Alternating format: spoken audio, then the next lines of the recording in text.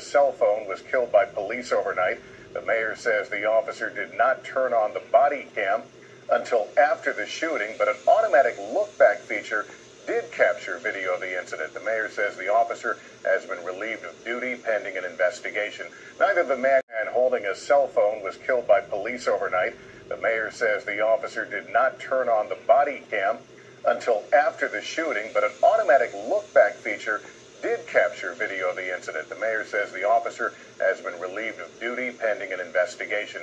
Neither the man until after the shooting, but an automatic look back feature did capture video of the incident. The mayor says the officer has been relieved of duty pending an investigation. Neither the man nor the officer have been identified. More than three years after the Trump administration, until after the shooting, but an automatic look back feature did capture video of the incident. The mayor says the officer has been relieved of duty pending an investigation.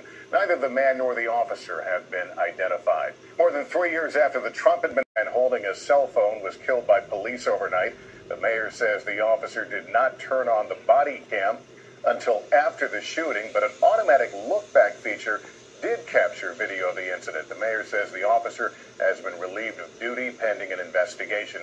Neither the man until after the shooting, but an automatic look back feature did capture video of the incident. The mayor says the officer has been relieved of duty pending an investigation. Neither the man nor the officer have been identified. More than three years after the Trump administration hit the subscribe button, hit the subscribe button, hit the subscribe button.